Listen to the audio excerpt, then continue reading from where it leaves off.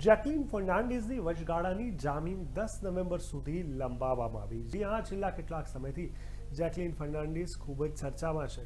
બોલિવૂડ અભિનેત્રી જેકલિન ફર્નાન્ડિસ આજે Delhi house court પહોંચી હતી. બસો કરોડના મની લોન્ડરિંગ કેસ સાથે સંબંધિત એન્ફોર્સમેન્ટ ડિરેક્ટોરેટ કેસમાં તેમને સમન્સ મોકલવામાં આવ્યા હતા. મની લોન્ડરિંગ કેસમાં જેકલિન ફર્નાન્ડિસના વકીલોએ જામીન અરજી દાખલ કરી હતી. અને આ જ કેસમાં આજે સુનાવણી હાથ ધરવામાં આવી હતી.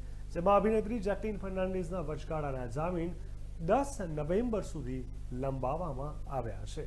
દિલ્હીની પટિયાલા હાઉસ કોર્ટે આદેશ આપ્યો છે કે ઈડી તમામ પક્ષકારોને દસ્તાવેજો પ્રદાન કરે.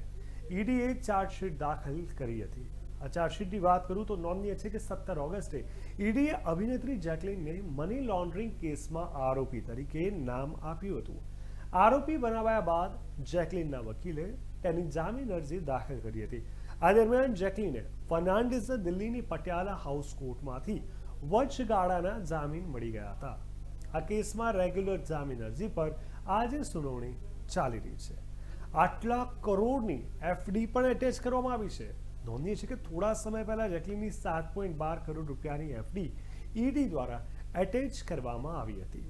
અભિનેત્રી પર એવા પણ આરોપ છે કે જેકલીને ચંદ્રશેખર પાસેથી દસ કરોડ રૂપિયાની મોંઘી ભેટ પણ લીધી હતી. આપણે જણાવી દઈએ કે આ વર્ષે ફેબ્રુઆરીમાં ઈડીએ પિંકી ઈરાની વિરુદ્ધ ચાર્જશીટ દાખલ કરી હતી. પિંકીએ સુકેશનો પરિચય અભિનેત્રી જેકલિન સાથે કરાવ્યો હતો. આરોપ છે કે પિંકી ઈરાની જેકલિન માટે મોંઘી ગિફ્ટ પસંદ કરતી હતી.